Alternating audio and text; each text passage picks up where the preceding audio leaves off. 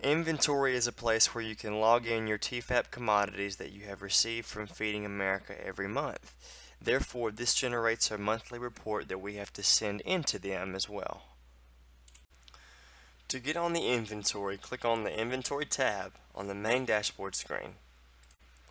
After clicking Inventory, you do come up on the main uh, inventory interface and you have some inventory items that are already um, selected here for you that people have chosen in the past.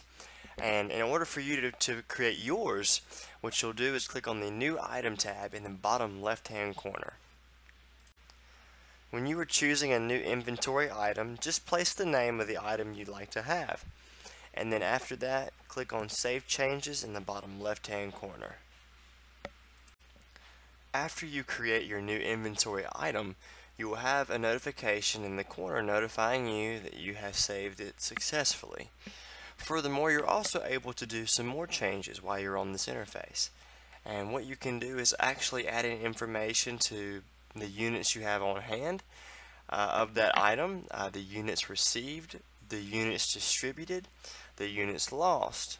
And this equals up into the total units. Now the total units automatically calculate so once you put in your figures that will be saved successfully in the, in the total units box. Once you have finished with your changes, click on the Save Changes button in the bottom left hand corner to finish updating your new product.